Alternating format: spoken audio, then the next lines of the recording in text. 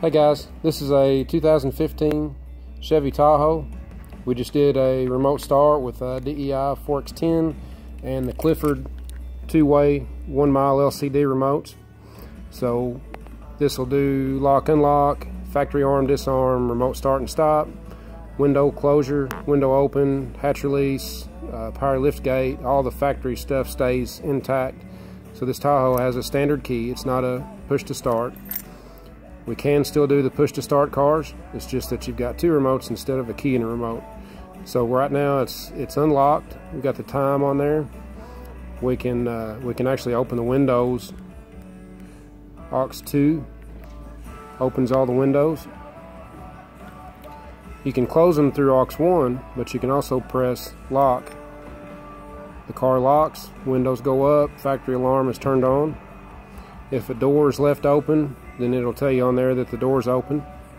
When, uh, when the car is unlocked, you can use AUX 3 to open the power lift gate.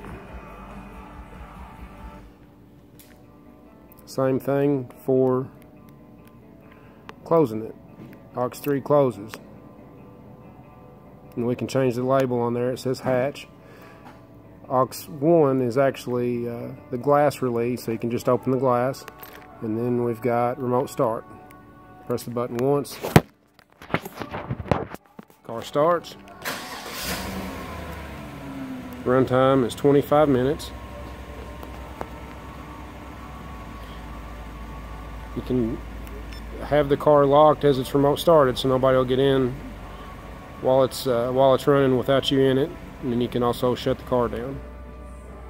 Very popular system. These work from one mile. They've got the two-way, so if you're anywhere inside a building and can't see the car, you can uh, uh, actually see on the remote what it's doing.